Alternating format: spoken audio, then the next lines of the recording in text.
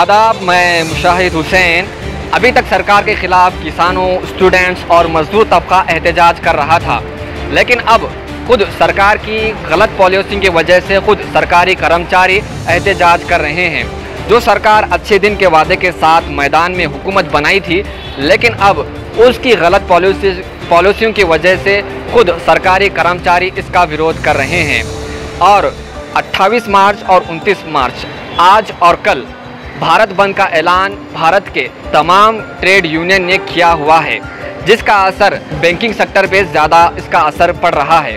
और भारत में आए दिन महँगाई और बेरोज़गारी बढ़ रही है। बेरोज़गारी पिछले 45 इयर्स में आज ज़्यादा चरम पर देखने को मिल रही है।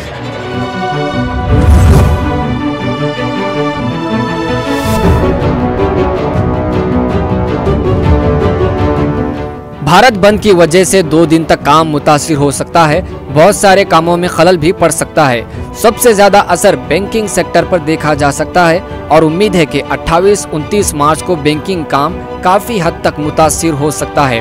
साथ ही भारत बंद का असर ट्रांसपोर्ट सिस्टम पर भी देखा जा सकता है। आज और कल भारत बंद रहेगा। रेलवे, रोडवेज़, ट्रांसपोर्ट और बिजली के महकमे के मुलाजिमीन ने भी इस भारत बंद की हिमायत करने का फैसला किया है। दरअसल, ट्रेड यूनियनों का कहना है कि हाल ही में हुए रियासती इंतबात के नतज से खुश होकर मरकजी हुकूमत ने मुलाजिमीन के मफाद के खिलाफ फैसले लेने शुरू कर दिए, जिसमें ई पी एफ़ की शरह 8.5 फ़ीसद से कम करके 8.1 फ़ीसद कर दी गई है। पेट्रोल, डीजल, एलपीजी, मिट्टी के तेल सीएनजी की कीमतों में अचानक इजाफा कर दिया गया है। ट्रेड यूनियंस ने अपने इजलास में हुकूमत की पॉलिसियों को तनकीद का निशाना बनाया है। आपको ये बता दें कि मुलाजमीन की तंजीमों का कहना है कि वो ये हड़ताल मरकजी हुकूमत की गलत पॉलिसियों के खिलाफ कर रहे हैं, क्योंकि मरकजी हुकूमत आए दिन प्राइवेटाइजेशन की ओर बढ़ रही है।